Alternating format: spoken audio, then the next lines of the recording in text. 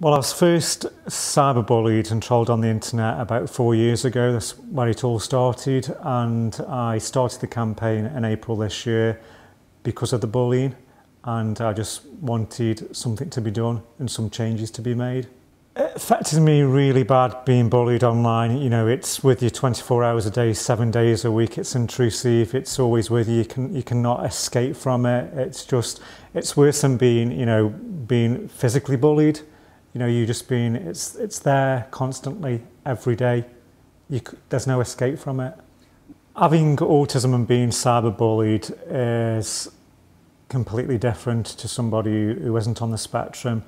Uh, when I got the cyberbullying, still have the cyberbullying today, it, it's with you 24-7. Uh, there's no escape from it. Uh, myself, because I'm autistic, I take things very literally. And when I even received the death threat, I, you know, couldn't even venture out of the house.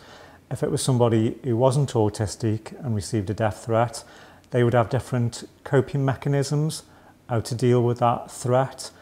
But when somebody's on the spectrum like myself, we take it very literally and, you know, it affects us, it affects our anxiety, our emotions, uh, it affects the way we live daily. I think currently in the UK and worldwide as a whole, uh, cyberbullying is so, you know, out there at the moment. You know, we're in the 21st century and you would really think that, uh, you know, local enforcement agencies, the police, you know, the FBI and people are, are would be putting better secure systems in place and protecting people who are vulnerable. Uh, but simply, it's not happening. Uh, we need laws in place. We need tough laws. We need cyberbullying legislations. We need prosecutions to take place. We need uh, prosecutions where people who do cyberbully get prosecuted as a criminal offence because it is criminal. It's criminal activity. We also need uh, social media platforms to put better policies in place, better reporting systems, and just to make the place, you know, throughout on the internet a more safe place, a more better environment so people can enjoy social media rather than going online and fear what's going to happen next. I fear for people who are vulnerable, people with learning disabilities, people who have autism who get cyberbullied. You know, you know, some people, you know, on the spectrum are very literal and sadly could end up taking their own lives.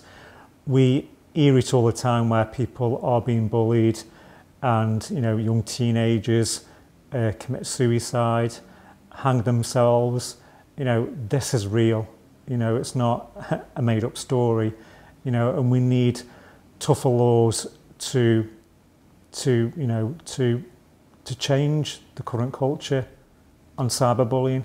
The trolls who have been trolling me, I've had lots of things. I've had impersonation, people cloning my profile and pretending to be me. I've had, you know, hatred messages uh, about myself. And, you know, some of these trolls who hide behind a computer, who are totally anonymous, uh, you don't know who they are, and I just can't understand why they do it, you know, why they, you know, pick on people who are vulnerable and people pick on people who are on the spectrum. Uh, I really just can't understand why they do this and, you know, the mannerisms and the way they behave and they, the way they act and bully people.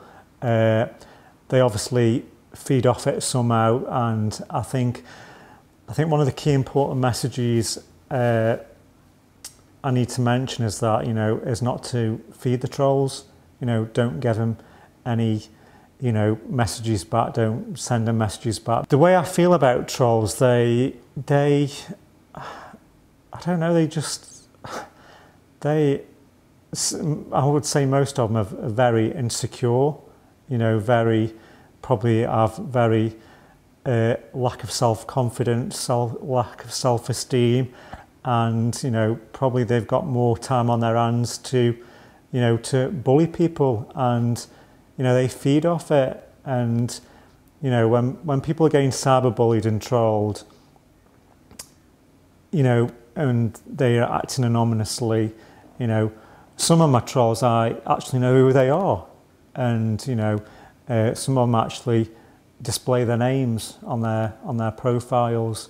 And I think these type, type of people who are not hiding behind a screen who are being quite open to who they are need to be prosecuted.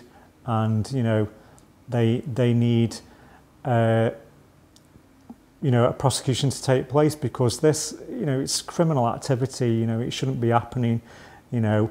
If we look at things like the Telecommunications Act, the Harassment Act, if people are bullying, you know, there are strong, uh, stringent laws in the UK where people can, you know, uh, be prosecuted for harassment.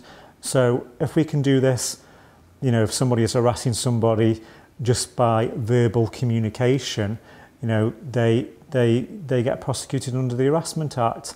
So if it's through the computers, through cyber technology, surely, you know, the same prosecution should be taking place there.